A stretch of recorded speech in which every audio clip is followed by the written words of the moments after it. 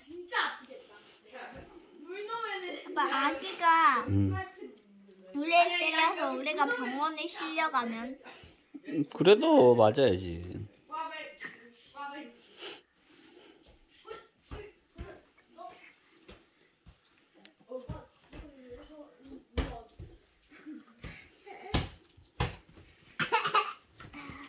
나비 비슷하. 키가 비슷해. 키가 비슷해.